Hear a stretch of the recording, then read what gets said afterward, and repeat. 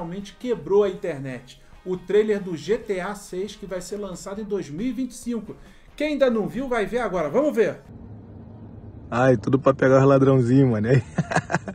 Pegaram os moleques aqui, meteram o pau, mano. Agora, estão atrás dos outros, olha lá. Tá vendo o nego na rua, tá metendo pau. Só vai pegar. Isso aqui. Só sul, só tem. Bandeira da praia, isso aqui te dói.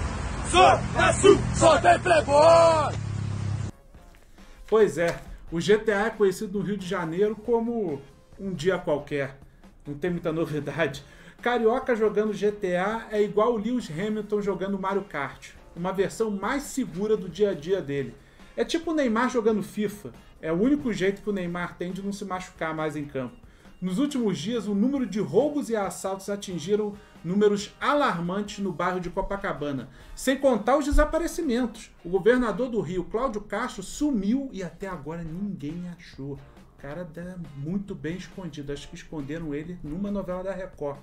Só não colocaram ainda um cartaz de procura-se para o governador para não confundir com o cartaz de procura-se dos bandidos, porque no Rio é muito confuso, né? Tem muito governador que já foi para prisão, então é bom não, não misturar as estações.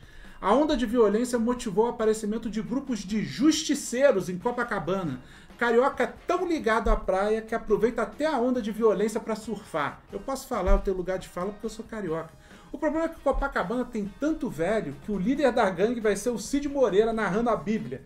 Ele já, ele já, essa galera da gangue já tá tudo com problema de visão, vem tudo escuro.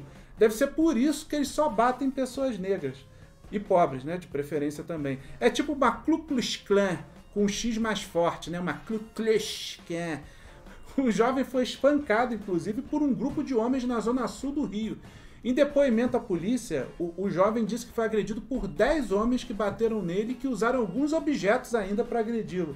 O jovem afirmou que não sabia o motivo da agressão e ele tinha sido detido antes por roubo, mas não tinha cometido crime algum ainda em Copacabana. Bom, eu sabia que justiça com as próprias mãos é o tipo de covardia. Eu fazia muito esse tipo de covardia nos meus 15 até ontem, né? Porque 5 contra 1 é covardia, mas 10 contra 1 também, porra, aí é demais, né? Eu fico imaginando como é que é essa formação dessa Liga da Justiça Carioca misturada com Vingadores Carioca. Olha os heróis que tem aí. Tem o Surfista Parafinado, o Homem-Areia, o Batman, o Homem de Ferro com o efeito da Marizia, o Capitão Nascimento América, a Mulher Marolinha, a Viúva Branca de Militar e o Aquaman de Copacabana, que só trabalha com pirarucu e manjubinha.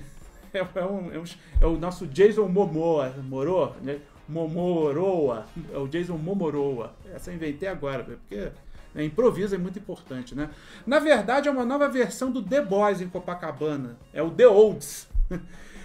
É claro que com tanto idoso reunido, reunido para fazer justiça sem Viagra, eles vão acabar baixando o cacete. Não vai durar por muito tempo.